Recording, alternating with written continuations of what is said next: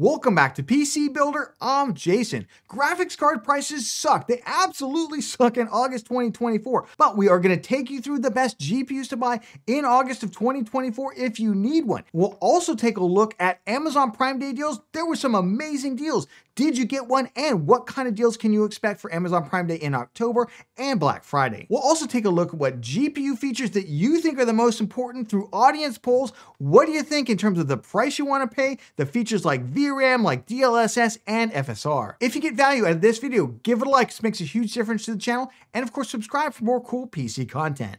With that, Let's jump into it. Let's start off actually looking at Amazon Prime Day prices because I know I get a lot of comments. Oh, I'm going to wait for Amazon Prime Day. I'm going to wait for Black Friday. There will be another Amazon Prime Day also in October. I mean, I don't know that for sure. Amazon hasn't announced it, but that's what they've been doing for the last several years. And people are always wondering if I wait, what kind of discount can I get as opposed to just buying something right now? So I want to show you these were the best deals on Amazon Prime Day in July in 2024 because the last time we took a look at GPU prices was just before Prime Day, and honestly, you can often get good deals just before those sales as well. So this was the 6750 XT, got all the way down to 269. And I will also say this is not just one of the cheaper ones, this is actually the more premium ASRock Challenger Pro. Now they're trying to close these out so it doesn't surprise me that they're just basically taking a GPU that's probably sitting on shelf, not really selling at the higher price point. I think it was like $340 and kind of cutting it down to this price. $269 for a 6750 XT is insane, as we'll see later in the video. Of course, if you're looking for something that's this generation, looking to spend a little bit more money, you can get a smoking deal on RX 7800 XT. Again, a more premium model. This is the PowerColor Fighter three fan model. There are some cheaper kind of two fan models out there that also got to that, you know, $460 price point, but this was the lowest on Prime Day and it was a great deal. Here's another part that if you have it in your market, you should definitely consider. We'll talk about the price right now, but 339 for the RX 6800. This is the non-XT version, still with 16 gigs of VRAM. Insane deal for $340 this level of power. This was a what, a seven, $800 GPU during the shortage. And then of course people are always wondering, who gives better deals over the sales period? Is it NVIDIA, AMD, Intel? I don't have any Intel deals up here. Their deals on GPUs, frankly, weren't that great. But NVIDIA has been known to be super stingy, while on the other hand, AMD typically does make it rain in terms of the discounts it offers. NVIDIA doesn't usually offer discounts. My understanding is usually the board partners, like the manufacturers of the GPUs themselves, this is like Zotac or Gigabyte or MSI, will kind of cut their own deals with retail through the supply chain and cut some of these prices. We did see a $499 RTX 4070 that was the Gigabyte model. That was actually a pretty good deal. Again, nowhere near what the deals AMD was cutting because that's a weaker card than the 7800 XT with less VRAM. But you can get some of these other cards like a $569 RTX 4070 Super. Outside of that, no big NVIDIA deals. Of course, we're always trying to understand what you're looking for in a GPU, how much you want to spend, what features are you looking for, like ray tracing, DLSS, does in VRAM, does any of that matter to you? So we did a series of polls with our audience, including this one that got 27,000 votes. I just want to share some of these quick results results. How much are you looking to spend on your GPU? I was surprised, 27,000 votes here. 500 to $899 was the largest segment, and it was double the size of the next two segments, which were kind of equal, either 900 to $1,100 or 300 to $499. So really that 500 to $899, at least for our audience with the 27,000 people here who took the poll, kind of makes some sense. And then I was really surprised, under $300, less than 10%. Not shocked, obviously, that only about 6% are looking to spend RTX 4090 money. Then I asked you, what's the most important feature when you're buying a GPU? And this was an absolute bloodbath. I asked ray tracing, DLSS, frame generation, anything else. Raw FPS just absolutely crushed this one, 17,000 votes in it. I mean, I don't know what else to say. Yeah, gamers, when they're buying a gaming GPU, kind of seems logical, right? The number one thing they want is the most FPS. So having that be a thorough bloodbath, I did a second poll, which is okay, what's the second most important feature when you're buying a GPU? Forget FPS, let's let's move on. VRAM, number one. VRAM, 74%. Clearly the audience is getting the message that 8 gigs is no longer enough. They don't want to buy something now and feel like they're left in the lurch later. DLSS only 9% and other things literally less than 10%. So honestly, and remember, this is the second most important feature. The number one was FPS by a mile. So really it looks like FPS and VRAM are the most important things to buyers, at least in our audience. All right, now for the painful part, man, GPU prices absolutely suck. They absolutely suck. Look at that. Look at all that red out there. Really not a lot of price adjustments going on. This period I often call like the pain period for consumers It happens every year, pretty much right around August after all the discounts around Prime Day finally expire. Some of those discounts linger on quite a bit past uh, Prime Day, but this is the punishment period where retailers basically don't have any additional discounts to offer through the retail chain. And so they're just going to charge you whatever they can for these GPUs. Now, we're not going to go through each and every model like we typically do. Just saying right now, especially on the higher and GPUs, I have no idea what AMD is thinking. We are expecting RX 8000 series GPUs to offer that same performance as the 7900 XTX or XT for a significantly lower price point out there. So not changing those prices at all, big question mark. The one GPU out there that does make maybe a little sense is the 7600, finally coming down to $232, which makes it competitive with the 6650 XT at $219 out there because they have almost the same level of performance. Also the RTX, you know, 4060 out there and it has AV1 encoding. So at that point, I would consider it. However, it's only got 8 gigs of VRAM, so I probably just spend a little bit more money and go with a 6750 XT or 6700 XT, which continues to be excellent value at $289. Speaking of GPU prices suck and I have no idea what this company is doing, Intel, what are you thinking out there? I mean, I'm just gonna, I almost fell out of my seat when I when I put these together.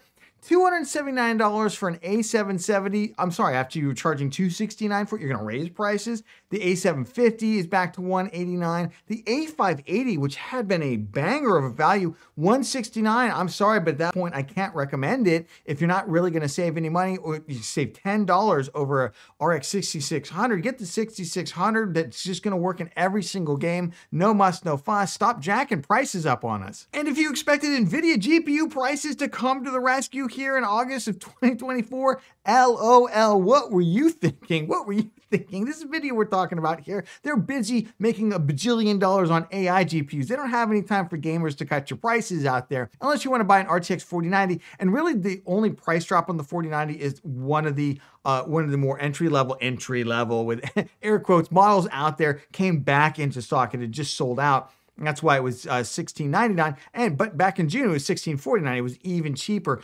Other than that, the RTX 3060 12 gigabyte, what we've seen is one of the cheaper models, uh, cheaper gigabyte models that had sold out has come back into stock. Two thumbs up there. Remember, these are all listed down in the video description. Let's check out the best graphics card 2024 in August. So if you're looking to buy a new GPU, these are the ones you should be looking for. If you're not familiar with how we do this, we basically have this big spreadsheet that's available down in the video description. You can check it out, put your own prices in. These are current US retail prices for new cards and their eBay prices for the used cards, average eBay prices. We basically track them all by performance and price. We get a price to performance, and we're to break them out into every category. Here we go. All right, sticking with our audience preference, we're gonna jump over the $200 cards and we're just gonna go straight to the best new GPU under $300 in 2024. So this is where they have at least 8 gigs of VRAM or more, and basically the price is under 300, except I've played with a little bit. I've added in the 7600 XT. It was the only card that was really being cut off there, so I wanted you to at least be able to see how bad a value it is right now at that price. Honestly, if you're looking for something super cheap, yeah, the ARC A580 still not bad out there at $169, so not phenomenal. The RX 6600 would probably be my pickup under $200, so no must, no fuss, works with everything, and it's only $10 more. As we approach $300, if you have the 6750 XT in your price category out there, pretty good price to performance out there $2.16 not as stellar as it was at like 269 but still incredible performance 1440p levels of performance out there 12 gigs of vram which really separates it from the pack. Honestly it's the best price to performance 12 gigabyte or larger gpu on this chart right here. RTX 3060 12 gigabyte, not that terrible now that you, if you can pick up that $264 model out there and you only have around $250, although I would urge you to stretch if you can to the 6750 XT. If that's not in your market, 7600 XT,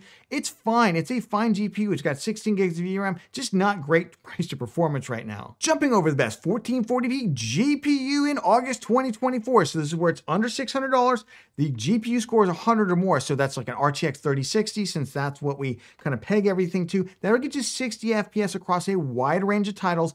Uh, these are mostly harder to run single player titles at ultra details. Ultra details. If you're playing like Fortnite, League of Legends, those kinds of games, Overwatch 2, you're going to get tons and tons of frames at 1440p, no problem. And of course, this is also where we have at least 12 gigs or more of VRAM. And we've already talked about the 6700 XT, 6750 XT insane value. Another one that if you haven't in your market, the RX 6800 is kind of a unicorn right now. There's only one model, even in the US right now, that's sold at Newegg. That would be my strong pickup, especially if you value VRAM, which I know so many of you do out there. If you don't have that in your market, I do think the RX 7700 XT is easy, an easy choice right now. Around $374. I would love to see that come down to more like 350 AMD if you're listening out there. I think that's where that GPU needs to be sold right now. But 374, it's a small price premium, great performer GPU. As we get more in the mid range, you're looking to spend like 500 ish dollars. The 7800 XT, 7900 GRE, the same price to performance. Basically, the GRE is 10% stronger than the 7800 XT, and it costs 10% more. So you just kind of pick whichever one you want. And they both come with 16 gigs of VRAM.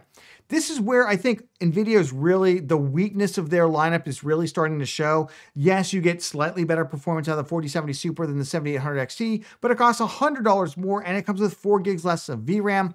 So what are you really getting there in the long term? I think that's just a big question mark. I'm not saying don't buy it. If you're one of these folks who absolutely has to have NVIDIA for some reason, that's the card I would recommend. I'm just saying they're not very good values. Moving over to the best 1440p 240 hertz GPU in August 2024. So this is where the GPU scores 180 or greater, and we have still 12 gigs or more VRAM, and we've dropped the price requirement. So this will go all the way up to an RTX 4090 basically in terms of our performance. Now we've dropped out some of the weaker cards so we can kind of get a clearer picture here, especially if you want to push lots and lots of frames and you want to spend more like that, you know, 600 to $800, the RX 7900 XT. You're like, Jason, the 4070 Super's got better price performance. Yes, but very close. And the 7900 XT has a lot more performance to it than the 4070 Super does. Now, I do also like the 4070 Ti Super here, though not necessarily for 1440p gaming. We'll talk about 4K gaming in just a moment. That is where maybe DLSS plays a slightly uh, bigger role in this. But I think for 1440p, I do like the 7900 XT.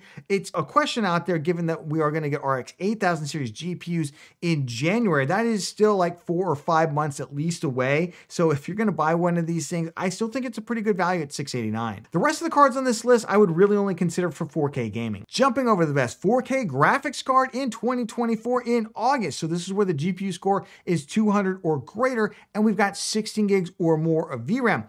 And if you're wondering how many FPS this translates to for like the 7800 XT, that'll get you somewhere between 60 and 70 average FPS across a wide range of harder to run single player titles at ultra details with the 7800 XT 16 gigabyte there. I will say if you're going to play games like Overwatch 2, CS2, those kinds of more lightweight titles, you get tons and tons of frames at 4K out there. I love the GPU lineup out there, 7800 XT, 7900 GRE for more entry level stuff. And remember, Upscaling at 4K works a lot better than it does at the lower resolutions, obviously. I personally game on a 7900 XT at 4K. I do use FSR where it's available.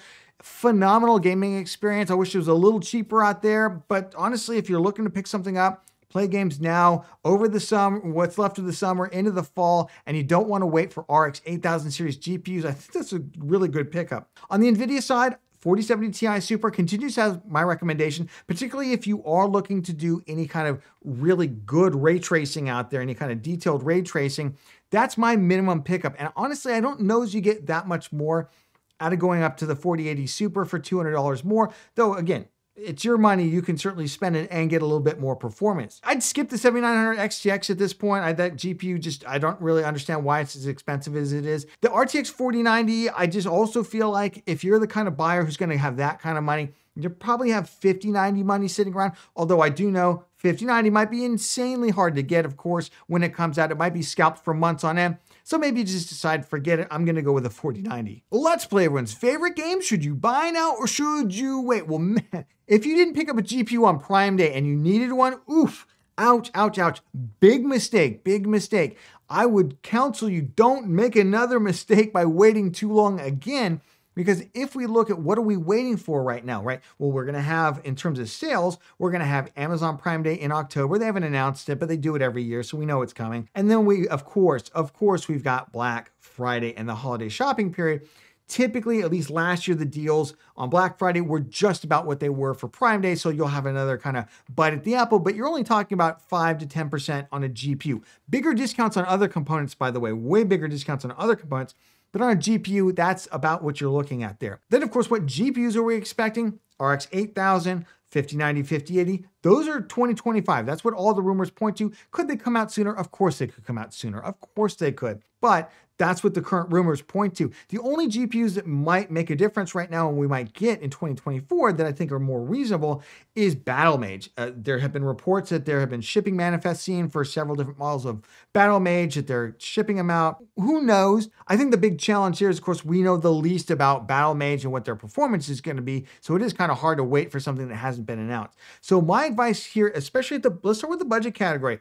If you're looking to spend 200 or $300 on a GPU, there are good values out there. The RX 6600, two thumbs up. The 6750 XT, 12 gigabyte, four thumbs up basically. That's a great value GPU. Then if you don't have those in the market, the RTX 3060 12 gigabyte I think still remains kind of a stalwart out there around 260-ish dollars if you don't have the 6750 XT out there and you can't afford to jump up to the 7600 XT. I don't know why AMD is trying to charge so much for that GPU. Those would be my other ones to move towards. And the 7700 XT, excellent value by the way, at about $360.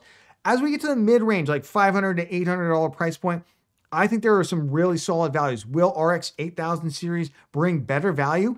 I'm going to tell you, after seeing the Ryzen 9000 pricing, I'm skeptical. I'm very skeptical that AMD is going to price those RX 8000 series GPUs where they need to be actually priced. Maybe they will. Maybe they'll finally learn their lesson, but I feel like I've been burned so many times.